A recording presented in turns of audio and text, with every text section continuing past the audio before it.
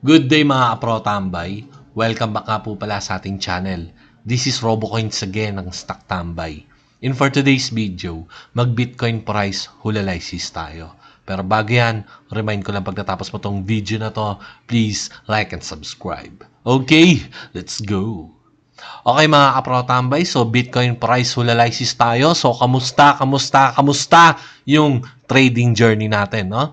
So makikita natin mga kapro-tambay na walang galaw, no? Walang galaw yung pinaka Bitcoin kasi mga protambay December nagkaroon ng mga bank holidays, no? Banks holidays, so sarado yung mga bangko. So wala yung mga big fish mga protambay, no? So hindi sila nagte-trade kaya nakakita tayo ng mga tinatawag na sideway, no? Kosyo, mga kaprotambay na uh, banks holidays ngayon, no? So ang price ng Bitcoin is hindi talaga tuluyang mapupush pataas mga aprotambay kasi walang volume. So, ang pinaka high probability chance is bumabagsak yung pinaka price ng Bitcoin. Okay, so tanggalin ko lang mga aprotambay itong mga nakuha ng mga liquidity pool. So, makikita natin mga aprotambay yung pinaka last na Bitcoin price analysis natin, itong bear flag na to, which is naita naman natin na talagang drum up, no? Then, nung nagkaroon ng pump, sabi ko, kung magpa-pump, is pwede mag-bounce sa 17,000 or 17,400 which ito na nga kaprotambay nag-bounce siya pababa dito sa 17,000 no? So burahin ko lang muna to mga protambay mga liquidity na nakukuha na nakuha na. So makikita natin kaprotambay no? So ito imbalance kinuha. Okay, nag-play ka pro tambay, nasa 1 hour time frame tayo. Nag-play yung pinaka parang save more attack natin, so wala pang pangalan tong play na to. Makita nyo, no, tumungtong siya, eksakto sa imbalance. Then yan yung pinaka-trap ka-pro-tambay. Then, kinuha na, no, mga ka-pro-tambay. So, makikita natin na effective ka-pro-tambay yung pinaka ganyang klase ng ano, uh, itsura ng pinaka-trap ng Bitcoin, no? So, aware tayo sa mga ganyan. So, ang gagawin ko, Osyo, nakuha na tong pinaka-imbalance na to. So, X na natin yan. Okay? So, ganito ka-pro-tambay, no? So, pag-usapan natin ang Bitcoin price analysis. So, sigurado makakaprotambay yung pinakagalaw neto is next year na. Okay? Around January 4, makakaprotambay yung pinakagalaw. Kasi kung makikita natin dito sa Forex Factory, okay, December 29 ngayon, 30, okay, yan yung mga news, makakaprotambay, no? Pagdating ng 31, makikita natin walang news. Pagdating ng January 1, wala, kaprotambay, no? Pagdating ng January 2, bank holiday pa. Ayan ang mga protambay, no? So, bank holiday, January 3, check natin. Okay, meron pa mga bank holiday, so makakakita pa tayo ng hindi gano'ng magalaw. Then, pagdating ng January 4, mga protambay, meron na mga red folder, no? So, aware tayo ka protambay na yung pinaka-momentum is babalik around January 4. No? So sa ngayon kaprotambay, wala tayo ganong uh, expect na move pataas and move pababa na mga malalaking moves. So hindi natin ini-expect 'yan. Ngayon kaprotambay, no, walang Santa Claus rally na naganap. Pero hindi pa natin alam, kaprotambay, no? So, hindi pa tapos ang December. Pero ngayon, kaprotambay, high probability chance na na walang Santa Claus rally, no? Sa pinapakita ng pinaka price ng Bitcoin. Ngayon, kaprotambay, okay? So, nagbi-build ako ng baylong, no? So, alam niyo yan, kaprotambay, nagbi-build ako ng baylong. Pero, mga kaprotambay, dapat maging aware tayo sa paparating. Okay? So, ito yung gusto ko sa inyong ipakita, kaprotambay. So, pupunta tayo, kaprotambay, sa one week time frame. Okay? So, ito yung pinaka last week high natin, tsaka last week low. So, nagbago na, no? Okay? So, ganyan ko lang. So mga kaprotambay, aware tayo sa paparating na on natin ng EMA 50 at saka EMA 200. I-on natin kaprotambay. Mga kaprotambay, makikita nyo? Okay? Prepare for impact kaprotambay, no? So magko-cross na. Okay, nakita nyo kaprotambay, no? Yung pinaka 50 moving average at saka 200 moving average ng 1 week time frame is magkakaroon na tayo ng tinatawag na death cross which is na hindi pa nangyayari yan mga kaprotambay, first time in history yan sa price ng Bitcoin at wala tayong data kaprotambay na kung ano ang nangyayari kapag nagde-death cross sa one week time frame, no? So ito kaprotambay, kapag ito is nag-death cross, alam naman natin na babagsak ang price ng Bitcoin. Kung makikita nyo, masyado na siyang close. Siguro kung i-estimate ko, one week or two weeks na lang, magde-death cross na yan. So, one week or two weeks, magko-cross na yan, kaprotambay, no? Dapat ngayon is, ah, bago mag-Monday, mga kaprotambay, is magkaroon ng pumping para tumagal ng onti yan. Pero kaprotambay, kapag walang movement pataas, lalo na bank holiday, high probability chance na magkakaroon na tayo ng death cross which is hindi pa natin na-experience yan kaprotambay kapag nangyari yon syempre yung nagbibuild ako ng bylong isi-switch ko yon para sa sell short okay?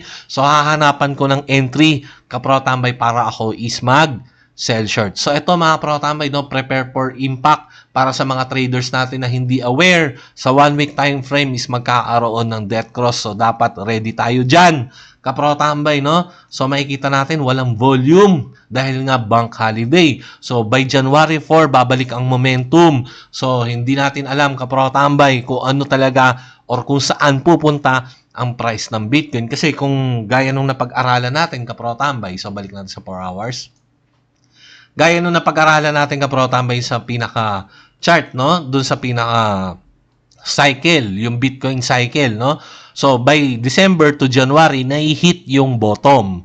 Pero ngayon, kaprotambay, first time ever na magkaaroon tayo ng death cross. So, hindi natin alam. Baka hindi na matupad yung tinatawag na Bitcoin cycle. Kapag kaprotambay na hindi nasunod yung tinatawag na Bitcoin cycle, maraming investors na mawawalan ng ganas dito sa Bitcoin, okay? So hindi na siya ano, kumbaga hindi na siya safe heaven. Pero aprotambay kapag hindi mangyayari 'yon, yung tuluyang pagbagsak ng price ng Bitcoin. Okay? So magkakaroon ulit ng interest yung mga malalaking investor na itong pinaka-Bitcoin cycle is natutupad. So, aware tayo dyan, kaprotambay. Bla- blanco pa tayo dyan kahit ako, kaprotambay, blanco pa ako. So, hindi pa natin talaga alam, kaprotambay, kung ano yung pinaka-idudulot ng death cross na yon no? Kung masusunod pa ba yung tinatawag na Bitcoin cycle, kasi sa napag-aralan natin, December to January, nai-hit na yung pinaka-bottom, no? So, nai-hit na yon. So, kapag natuloy yon, so, pabor yon sa pag-pump kaprotambay ng price ng Bitcoin. Pero kung sakali man na magda-drop talaga ang price ng Bitcoin, no? So, ini-expect natin kaprotambay ang tinatawag na 80% drop off sa 13,800 or max kaprotambay yung kunin ang imbalance dito sa 12,000 level. Kaprotambay yung monthly imbalance kaprotambay sa 12,000 level 12,500. Yan yung mga target natin. At kaprotambay, kung malala, okay? Kung malala yung idudulot ng pinaka-death cross na yan, ang possible puntahan, kaprotambay, is around 8,000 BTC. Okay? So, dun ko pa rin project yan. Pero kaprotambay, low probability pa lang yan sa ngayon. Ang pinaka-high probability na pwedeng puntahan is around 13,800 level, no? So, ganito kaprotambay, meron akong gusto sa inyong ituro. Okay? So, ano kayo? Stay focused, kapro tambay, no? Pupunta tayo sa tinatawag na CPI report. Okay? So, dito mga pro tambay sa investing.com, no? So, pwede nyo i-monitor, pwede nyo kopyahin. Kung mapapansin natin, okay? Paano ko ba ito i-detailed ka pro tambay, no? So, kung mapapansin natin, last year, year, year 2021, no? ang pinaka CPI report or yung pinaka inflation rate is nag-start ng 5%, no? 5.4. Then kaprotambay, dire-diretso siyang umangat ng 9.1 kaprotambay, no? Then bumagsak siya kaprotambay, ang pinaka latest natin is nasa 7.1. So ang pinaka next CPI natin is January Okay? Ito sa so check natin, no? Ito, January 12, kaprotambay. Yung January 12 na yan, yan yung pinaka-importanteng CPI report, kaprotambay, no? So, bakit importante, mga kaprotambay? Okay, so pupunta tayo sa Consumer Price Index. So, ito kaprotambay, yung pinaka-category ng pinaka-CPI. Okay, so dyan kinocompute ang pinaka-CPI. Walo yan, kaprotambay, no? 1, 2, 3, 4, 5, 6, 7, 8. O yan, walo, kaprotambay, no? So, dito sa category na to, ang may pinakamalaking cut or pinakamalaking weight pagdating sa computation ng CPI is yung tinatawag na housing. Okay? So, 30, 32% kaprotambay ng pinaka-CPI report is nanggagaling dito sa housing. Ngayon, kaprotambay, etong housing na to, hinati ito sa apat na category. Okay, kaprotambay, apat na category yan So, punta tayo dito.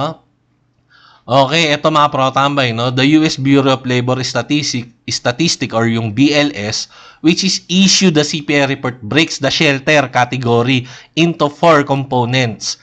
Rent, lodging away from home, hotels, tenants. Okay, mga protambay, household insurance. Rents and owner equivalent rent are by far the most significant. So, bakit ko sinasabi to? Okay, so balik tayo dito ka protambay, no?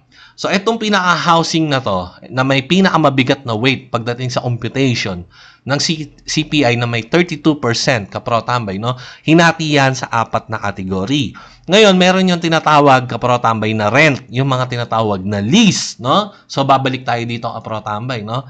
Yung lease or yung pinaka-rent kaprotambay pagdating sa housing, every 6 months po iyon kinocompute sa CPI. Okay? Every 6 months. Mga. Kasi yung pinaka mga housing lease, mga kaprotambay, every 6 months to 1 year, lumalabas yung pinaka-score nun at lalabas yon kaprotambay, yung pinaka-result sa CPI na inaantay natin by January. Bakit kaprotambay, no? So, kung mapapansin natin dito, no? Eto mga protambay, no? Bakit nag-peak dito sa 9.1? Okay, mga protambay, May, okay? So, eto mga protambay, January, February, March, April, May. June, June nilabas ka protambay, yung pinaka-result ng May, ang May, January, February, March, April, May, kaprotambay, papunta dito is yan yung pinakakalahati, 6 months yan. Kaya makikita natin, no, 9.1. From 8.6 kaprotambay, tumalon siya ng 9.1. Bakit siya tumalon? Kasi kaprotambay, every 6 months, lumalabas yung pinakakumpletong pagbasa ng CPI dun sa tinatawag na housing category, no? So, kasama na dun yung rent. So, ngayon, kaprotambay, no? So, bilang tayo. 1, 2, 3, 4, 5. Okay? Ito, December to, no? Itong 7.1. So, yung lumabas sa nung December, report yun nung November. Then yung lalabas, kaprotambay sa CPI report by January, yun naman ang report ng December ng kabuuang kasama na yung pinaka 6 months. Okay? So kasama na yung kumpletong score ng housing dito sa category ng CPI, kaprotambay. May kita nyo, kaprotambay, no? So, ine-expect natin na yung January 12 na lalabas sa CPI report is andon ang kumpletong score, no? So, probable, kaprotambay, no? So, malaki ang possibility na kosyo, mataas ang inflation, etong 7.1, pwede yang tumaas, no? Pwede yang maging tumalon niya sa 8%, 8.2. Pwede at kapag nangyari yon kaprotambay, no? Sasabayan yan ng tinatawag na debt cross ng pinaka one week time frame, no? So, ganun yan kaprotambay, no? Tandaan nyo sa CPI report, Okay?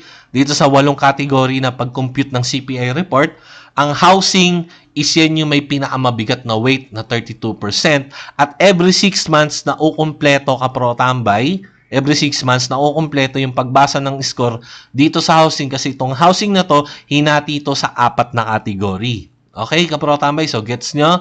Then, yung isang category ng rent for listing, yung lease, mga kaprotambay, every 6 months yan binabasa. Kaya kung mapapansin natin dito sa score, itong pinaka 6 months na to, no? so nakikita nyo, nagpipik. Okay? From 8.6, biglang lumilipad ng 9.1. So, yung pinakalas natin kaprotambay nung November na inilabas nung December is 7.1.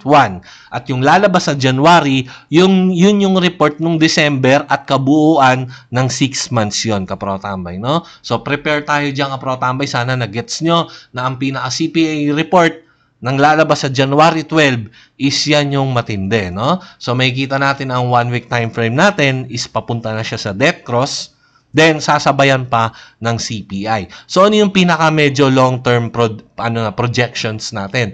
Ngayon kaprotambay kung mapapansin natin, bumababa kaprotambay yung pinaka inflation rate, no? So bumababa siya, pero ang price ng Bitcoin is hindi naman tuluyang tumataas. Bakit? Kasi kaprotambay ang FOMC, no, yung pinaka interest rate kaprotambay is hindi rin naman talaga tuluyang bumababa, no? Tumataas siya monthly. Pero ang good thing kaprotambay 0.50 basis points na lang ang inilalabas niya, no? So ngayon kaprotambay, lumabas na yung December natin ng 50 basis point. 'Di ba sinabi ko kaprotambay, ah, pagdating ng March, may hit na yung 5.1 or 5% interest rate, no? So, pagdating ng March, kaprotambay, so may FOMC by January, ang next FOMC is by March na, no? Pagdating ng March, so makukompleto na yung tinatawag na 5% interest rate. Yung susunod na FOMC, dapat ang lumabas nila doon, kaprotambay, ibaba na nila yung pinaka-interest rate, no? So, hindi na sila magdadagdag, magbabawas na sila kaprotambay kasi kung yung mga na-experience natin kaprotambay sa mga FOMC na nakalipas kahit 50 basis point yung naidagdag yun is idinagdag. Okay? So ang kailangan makita natin kaprotambay na ang interest rate kaprotambay is ibaba. Okay ibababa dapat yan kaprotambay ng Federal Reserve para makakita tayo ng recovery ng price ng lahat ng asset kaprotambay mapa stocks mapa Bitcoin. So, ine-expect ko kaprotambay na hanggang March to na hindi tayo makakakita ng pumping. Unang-una, walang Santa Claus rally, no? So, by March, kaprotambay, so ang possible scenario, magkaroon tayo ng tinatawag na malaking sideways, no? So, kung, kung sakali man may hit ang 13,800, no? So, pwedeng ang price ka pro tambay is gumanyang ganyan lang, no? So, yan yung mga possible scenario ba hanggang March, no? Kapro tambay. Then sa March, doon natin makikita kung ang pinaka Federal Reserve, yung pinaka interest rate is ihinto na sa pagtaas or babawasan na kapro tambay, no? Kasi kapro tambay, yung mga nakalipas na FOMC is nagdadagdag sila ng interest rate no? So, na-experience natin yan, kaprotambay, kaya alam na natin yung pinakagalaw ng mga CPI and FOMC, no? So, prepare, prepare lang tayo, kaprotambay. So, sa ngayon, wala tayong inaasahan at ngayon is nagbibuild pa rin ako ng baylong kaprotambay, pero depende kung anong itsura or magiging reaction ng price para mag-ship ako sa sell short kaprotambay, no? So, yun lang kaprotambay. So, abang-abang lang tayo. By January 4, da, uh, papasok yung pinaka-momentum. Sa ngayon, expected natin kaprotambay ang pinaka-sideways. So, merong bank holidays. Sarado ang mga bangko, kaprotambay. Yung mga malalaking trader is ah, nagbakasyon, so wala sila dito sa market, kaprotambay, pero as is, yung market maker is andito pa rin. Kaya makakita tayo kaprotambay sa mga low time frame ng mga pump and dump na maliliit, no? So meron kasi yan tinatawag na algorithm, no? So inihit kaprotambay ng algorithm yung mga buying order at saka mga sell orders, no? So mga kaprotambay, uh, expected natin yung pinaka sideways, no? So wala tayong ine-expect na malaking move pataas, then wala rin tayong ini-expect na malaking move pababa. So, beware tayo kaprotambay. Okay? Prepare for impact para sa death cross. So, sama-sama tayong sasaksi. Kaprotambay, kung ano ba talaga ang itsura niyan. So, ini-estimate ko yan ng 1 week to 2 weeks magkocross na yan. Pero kung sa aliman na magkakaroon ng mga malalaking pumping, madedelay yung death cross na yan. Pero sa pinapakita niya yan, high probability chance kaprotambay na mag-cross yan. Okay kaprotambay, no? So, meron tinatawag na low probability, meron din tinatawag na high probability, no? So, dapat alamin nyo ang pinagkaiba niyan kasi kaprotambay, no? So, kwekwentuhan ko lang kayo ng onte para medyo umaba yung ating video natin. Do sa last video natin, meron tayo dong bashers, okay? So, okay sana kung criticism So, ibang criticism sa bashing, no? So, itong basher na to, dapat hindi ko na to papatulan. Pero, syempre, dapat minsan kailangan nating sagutin, no? Kasi nag-feed siya ng tinatawag na misleading information. Okay, kaprotambay, no? So, sabi raw, kaprotambay, next time daw, uh, pag magpa-price analysis tayo, isang pataas, isang pababa, at saka sa isang sideway para daw tama lahat ng analysis natin, no? So, hindi niya naiintindihan yung tinatawag na high probability, no? So, sa ating pag-a-analyze, no, yung sa paghuhula natin, so, ina-analyze natin ang potential ng pataas, then potential ng pababa. Pero meron tinatawag na high probability, no? So, ano yung pinaka-majority na, magi- na mangyayari? So, sinasabi ko, kaprota, may kagaya nun. Yung death cross, sabi ko dito sa death cross, no? Meron yan chance ka pro tambay na hindi mag-cross. So, nandun yung chance. Pero high probability is magde-death cross yan. Nakikita nyo kapro tambay? Kahit dalawa, yung hula natin, meron tinatawag na high probability. Mali kasi yung tinatawag na one-sided, kapro tambay, no? Pag sinabi mong ang Bitcoin is tataas, hindi na bababa. Pag sinabi mong ang Bitcoin is bababa, hindi na tataas. Mali yun kasi andyan yung chance. Isang pataas, isang pababa. Maa-apro-tambay, no? Pero alin ang high probability? Merong lamang. Okay ka, Pro Tambay? So, ewan ko yung basher na yun, hindi nagigets eh, no? At ito pa, Pro Tambay, no? Wag na wag kayong gagamit pagdating sa argument ng tinatawag na 100%, no? Wag kayong gagamit ng 100%. Kasi ang sabi niya, so kwentuhan ko lang kayo, no? Lahat daw, Pro Tambay, ng mga traders na nagko-content ng kanilang mga technical analysis is yan yung mga iyakin. Yan yung mga laging talo, no? Yung mga liquidated no? Yung mga yung mga hindi kumikita. Kasi kung kumikita na raw ba't pa magsi-share ng technical analysis no? So yung ano niya yung conclusion niya hindi tama. Kasi sa ginamit niya yung tinatawag na 100% which is mali kapro tambay dapat pwede niyang sabihin yun 99% ng mga gumagawa nun is yung mga talo mga talunan kasi kaso sinabi niya is 100% doon ka pro tambay pagdating sa agreement matatalo ka. Bakit? Yung ang ano eh, yung ang safeguard, 'di ba? Kill germs 99%. Bakit sa commercial laging may natitirang 1%, no? Hindi nila sinasabing 100%, laging merong 1% na natitira. Pero siya sinabi niya 100% daw ng mga nagko-content creator about TA is mga talunan. Okay? Mga hindi profitable or something or something niloloko lang yung mga yung mga nanonood. Kasi kung talagang profitable ka, dapat hindi ka nagsishare ng TA mo. Parang ganun yung dating, no? So, mali. Kapro Tambay, aralin niyo yung tinatawag na Black Swan fallacy. Yung kasi kapro tambay, baka hindi niya alam yung Black Swan fallacy, kaya sinasabi niya yon ay laglag siya kapro tambay, no? Ah, ewan ko ba doon, natatawa na nga lang ako doon eh. Yun lang kapro tambay, so ingat-ingat lang tayo, kaya sinasabi ko lang yon dahil dito sa ating Bitcoin price analysis, sinasabi natin yung pataas, Then sinasabi rin natin yung pababa kasi given yan, kapro-tambay. Pero meron tinatawag na high probability. Yun ang hindi niya naiintindihan. So dapat dun sa basher na yun, kapro-tambay, magpaano yun eh. Magpa-IQ test tapos pakita niya sa akin yung result, kapro-tambay, no?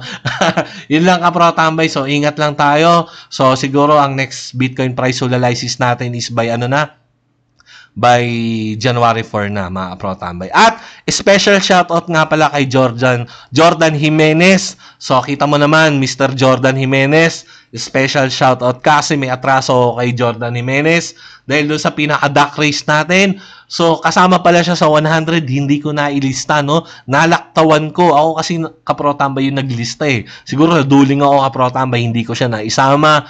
So, malaki ang atraso kay Jordan Jimenez. At ito na, special shoutout sa'yo, Jordan Jimenez. Andyan, kaprotambay siya shoutout box. So, nagsosolo ka lang dyan. Suluhin mo tong video na to, kaprotambay, para sa'yo to. Okay, so yun lang, mga kaprotambay. So, ingat-ingat lang tayo, holidays ngayon. So, Uh, iwasan muna natin yung trade. Ano muna tayo, kapro tambay, no? Huwag ka muna mag-trade. Bash yun muna. Okay? So, balik tayo siguro by January 4. Abangan natin kung ano yung pinaka-price action or yung pinaka-pinapakita ng Bitcoin kung saan pupunta. Then, i-check natin yung ating next na Bitcoin price hulalysis. Okay, mga pro tambay. So, yun lang muna. At dahil sa umabot ka sa video na to, please like and subscribe. Para sa mga kapro tambay natin na wala pang crypto exchange. Okay, mga kapro tambay, sign up na po kayo. Yung pinaka-link is nasa video description na po. Siya nga po pala mga aprotambay, habol ko na lang. So, gumawa tayo ng ano, yung bagong Facebook page natin, ang pangalan RoboCoins. So, meron na tayong tatlong Facebook page.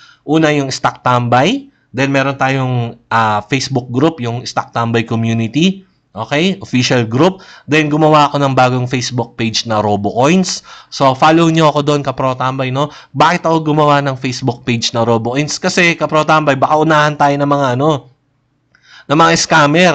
Kagaya nung nangyari dati, wala tayong Telegram, no? Pag-check ko sa Telegram, meron ng stock tambay ang gumawa yung mga scammer. So, gumawa na rin ako ng Facebook page na ang pangalan is RoboCoins. So, follow nyo ako, Pro Tambay, no? Para kapag meron akong gustong sabihin at gustong uh, ilabas na hindi, hindi pwede dito sa YouTube channel natin, is pwede doon, Kapro Tambay, no? Siguro lalagay ko doon, Kapro Tambay, sa Facebook page natin na RoboCoins, no? So, search nyo lang, Facebook page RoboCoins.